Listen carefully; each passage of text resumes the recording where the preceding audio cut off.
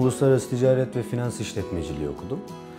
Ee, dört nesildir gözlükçülükle uğraşan bir aileden geliyorum.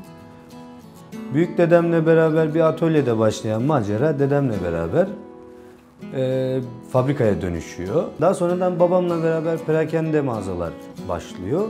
Ve bugün de benim çok uzun yıllardan beri devam ettirdiğim koleksiyonculuk sevdamla beraber çok farklı bir hale geliyor. Bunlar Rothschild ailesinin lisanslı ürünleri. Sadece Türkiye'de değil, dünyada sayılı olarak üretilen ürünler. Tamamen altın kaplama ve gözlüklerin ufak aparatları saat aparatlarıyla birebir uyum sağlıyor.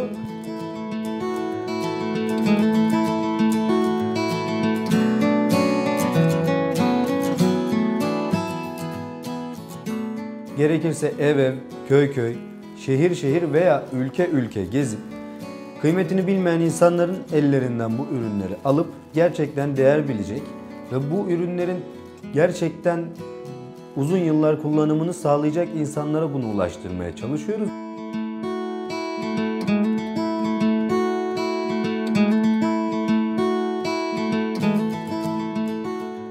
Mesela bu Hilton 1945 yapımı yaklaşık 75-80 yaşında İngiliz lordlar için üretilmiş olan bir marka.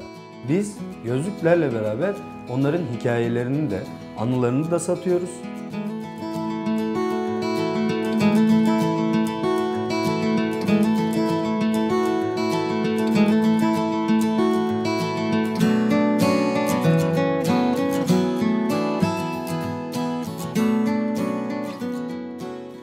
Peru'ya gitmiştik.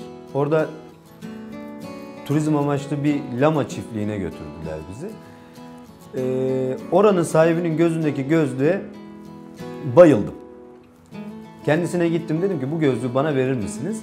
O da vermeyeceğini söyledi. Aramızda ufak bir diyalogdan sonra bana şunu teklif etti. Eğer ki çiftliğimizden bir tane lama alırsanız ben de size bu gözlüğü hediye ederim dedi. Ve 700 küsür Nova Sol yani Peru para birimine biz bir tane lama aldık. Burası da benim için mağazamızın en kıymetli köşesi.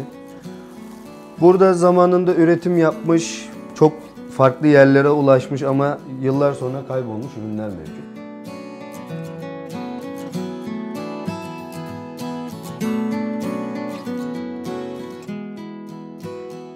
Mesela elimizde 1955 yapımı bir Anadolu serimiz var. İki adetler elimizde ve sadece Türkiye'de 500 adet üretilmiş olan gözlükler. Ee, bunları satmıyoruz, satmayı düşünmüyoruz. Herhangi bir paha biçemiyoruz. Ve bizdekinin bir tanesi 345. bir diğer Anadolu'muzda 365. Dönemin teknolojisine göre gayet zor bir logolama. Çok özel bir işçilik mevcut bunda.